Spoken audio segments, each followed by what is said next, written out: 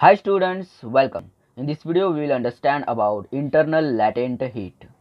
So here latent heat or enthalpy of evaporation that is HFG okay the latent heat or enthalpy of evaporation is always greater than external work done during evaporation which is denoted by WEX this is external work done during evaporation okay if students if you want to know more about external work done during evaporation i have made video on the same. The link of that video i have given in the description of this video. Please watch that video.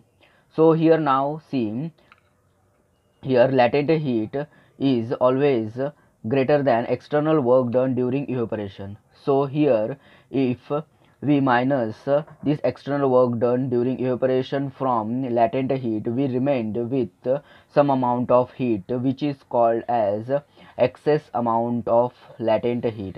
This excess amount of latent heat is called internal latent heat. Okay? So now see here. To overcome the internal molecular forces to change the phase of substance so see this internal latent heat we required to overcome the internal molecular forces to change the phase of the substance. Suppose this is a solid substance and this is our liquid substance.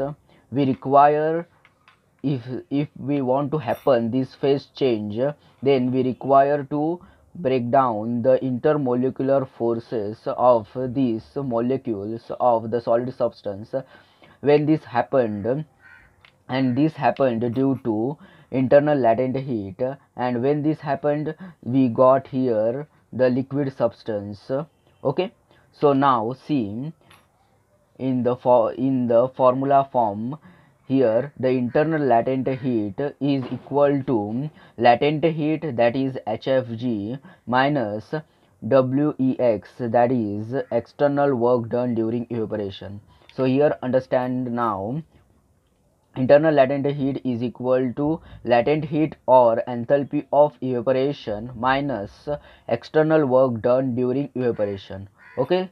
That is internal latent heat is equal to hfg minus wex now further see here for dry and saturated steam the internal latent heat is equal to hfg minus pvg okay here P is the pressure, Vg is the specific volume of dry and saturated steam.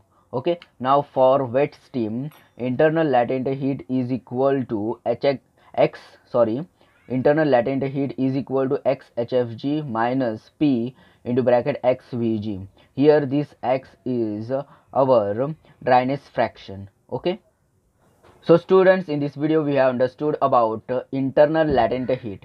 Thank you students for watching this video. Like, share and comment for this video and subscribe my channel. Thank you.